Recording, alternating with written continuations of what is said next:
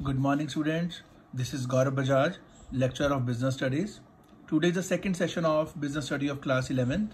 In last session, we discussed about types of human activity, economic and non-economic. Now, in this session, we discuss about business and its characteristics. What is business? Business means being busy or busyness. It is an economic activity which involve production and sale of goods and service with the motive of earning profit by satisfying human needs. All activity will start from production of goods and ends when the goods reach the consumer. Business वो चीज़ होती है जिसमें हम goods को produce करते हैं या फिर परचेज करते हैं और सेल करते हैं प्रॉफिट कमाने के लिए टू अर्न प्रॉफिट इसमें ऑल दोज एक्टिविटीज़ इंक्लूड होती हैं जो सामान को बनाने से लेकर गुड्स को सेल करने तक यूज़ करते हैं This is the meaning of business. Now we will discuss about characteristics of business. There are seven characteristics of business. First is an economic activity.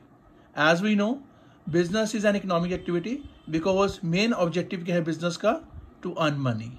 और हम वो पैसा कैसे कमाएंगे we will use resources land labor capital and machinery and with the help of these resources we will earn the money second is production and procurement of goods and services हम जब भी business करते हैं, दो तरीके से business कर सकते हैं। फ़र्स्ट इज़ मैन्युफैक्चरिंग गुड्स को प्रोड्यूस करके। सेकेंड परचेज और दोबारा उसको आगे सेल करना। नाउ वी विल टेक एक एग्ज़ाम्पल ऑफ़ बेकरी बेकरी में देखिए प्रोडक्शन भी होती है एंड प्रोक्योरमेंट भी होती है। बेकरी में हम केक बनाते हैं ऑर्डर पर। और सामान बेचते हैं, दूसरे सामान भी हम बेचते हैं। जैसे हमारे पास चॉकलेट्स हैं हमारे बिस्किट्स भी मिलते हैं हमें। तो दिस इज़ प्रोडक्शन और procurement of good and services third is dealing in good and services on regular basis business हमें जो रेगुलर एक्टिविटी है दैट इज़ कॉल्ड बिज़नेस एक सिंगल ट्रांजेक्शन जो है, किसी भी गुड्स की सेल या परचेज करना that is not called a business जैसे कि यहाँ पर हम एग्ज़ाम्पल लेंगे। यहाँ पर एक वाइफ जो है ओल्ड न्यूज़पेपर सेल कर रही है। And she earn money five hundred तो अपने हस्बैंड से डिस्कस करती है कि क्या ये बिज़नेस है? वो है no dear it is not a business क्योंकि आप ये न्यूज़पेपर डेली सेल नहीं कर रही. This is not called a business because this is a single transaction next fourth is sale और exchange of goods and services for satisfaction of human needs shopkeeper अगर कोई सामान अपने खरीदता है पर्सनल यूज़ के लिए that is not called business shopkeeper अगर कोई गुड्स परचेज करता है सेल करने के लिए so that he satisfied the human needs that is called the business next is profit earning without profit there is no business profit is the life blood of the business तो profit हमें कमाना ही पड़ता है for survival of business growth and expansion business को expand करने के लिए we require profit also next is uncertainty of return business is always done for future and future is uncertain and there is always possibility of profit और loss don't think कि अगर आपको इस this year आपकी company को अगर five lakh का profit हुआ है तो नेक्स्ट ईयर फाइव लैख का प्रॉफिट ही होगा। ज़्यादा भी हो सकता है, कम भी हो सकता है। तो return is uncertain last chapter six is element of risk risk is is associated with every business whether it is small और large no risk no business If we will take more risk, there is chance of more profit or loss. If we will take less risk, there is chance of less profit or or loss. So element of risk is also associated with the business. Second is profession. It is also an economic activities. Profession अब क्या होता है which where we require special knowledge and skills to be applied by individual in their occupation to earn fees. आपने अगर कोई भी profession join करना है, उसके लिए आपके पास उसकी स्पेशल नॉलेज होनी चाहिए स्किल्स होनी चाहिए। और जो पर्सन ये प्रोफेशन करता है he is called professional example doctor lawyer C A तो these all are the professional तो प्रोफेशन में हमें स्पेशल नॉलेज रिक्वायर और स्किल्स चाहिए, और हम क्या अर्न करेंगे? फ़ीस अर्न करेंगे। Now we will discuss about characteristics of profession. First is specialized knowledge.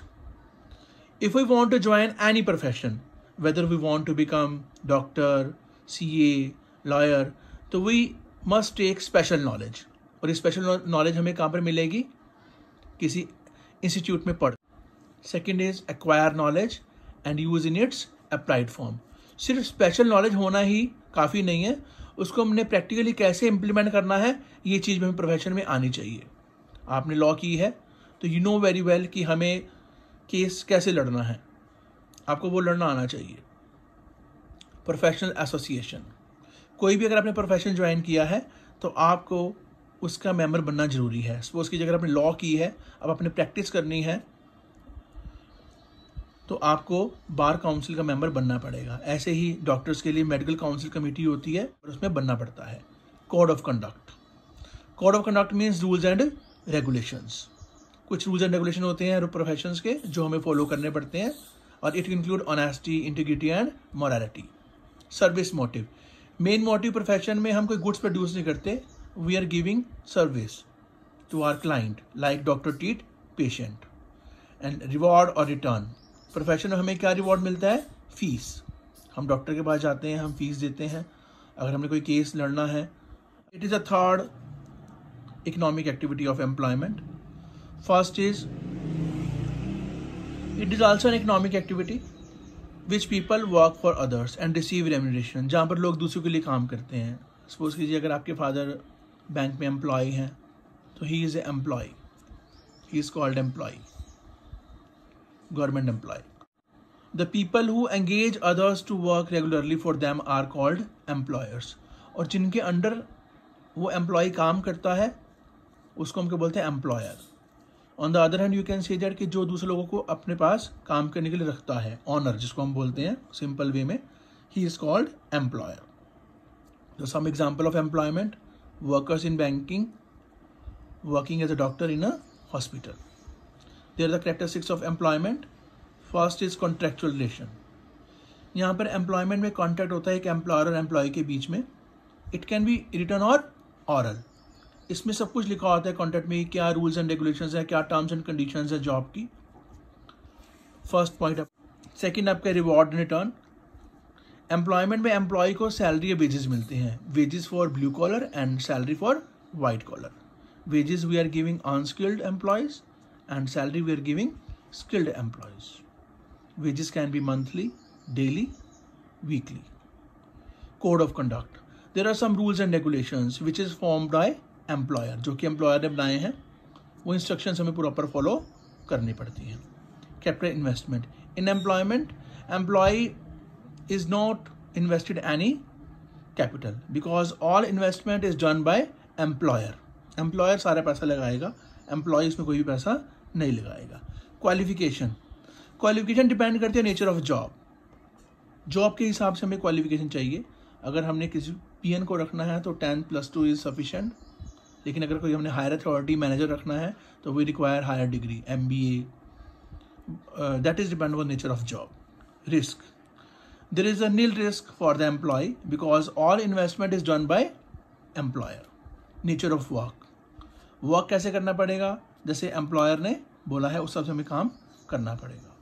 Service condition according to government laws and there are some laws which are form by government वो भी हमें follow करने पड़ते हैं like working hours minimum wages act तो today we discussed about three economic activity business profession and employment I hope you understand it very clearly thank you